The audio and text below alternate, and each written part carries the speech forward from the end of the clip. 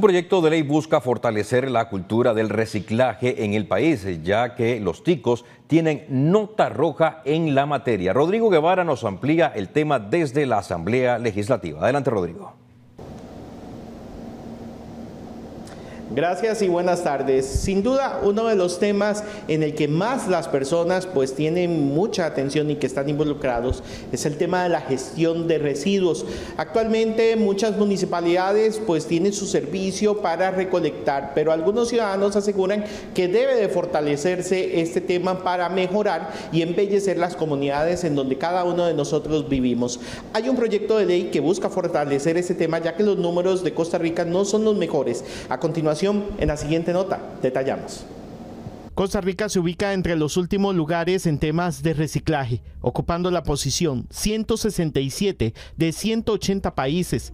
Las personas perciben ese problema en sus comunidades. Yo llegué a la conclusión que San José es el servicio sanitario de Costa Rica.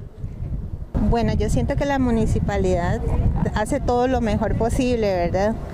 Eh, sin embargo, a veces los, los que necesitamos de ellos, muchas veces se sacan la basura a horas que no corresponden, entonces los indigentes van y, y rebuscan en la basura cosas que ellos necesitan. Y no me parece porque no pasan a recoger la, la, esto, ¿cómo es que se llama? La basura. La basura. Bueno, la basura sí, pero lo reciclado no. Datos del Ministerio de Salud indican que en 2020 el país generó 1.459.288 toneladas métricas de residuos ordinarios, de los cuales solo se recuperaron por procesos de valorización 45.510 toneladas métricas.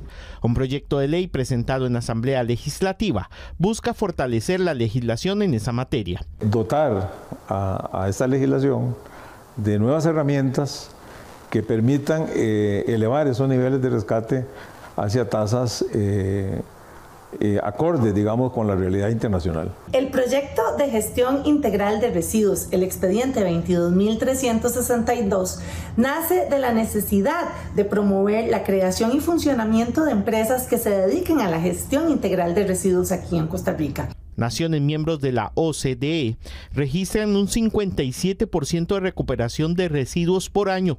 Costa Rica apenas alcanza un 3.1%.